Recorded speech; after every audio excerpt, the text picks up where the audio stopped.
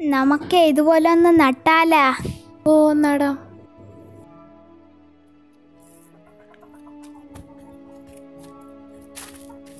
ഇതെന്തിനാ മോനെ? അതൊക്കെ ഉണ്ട്.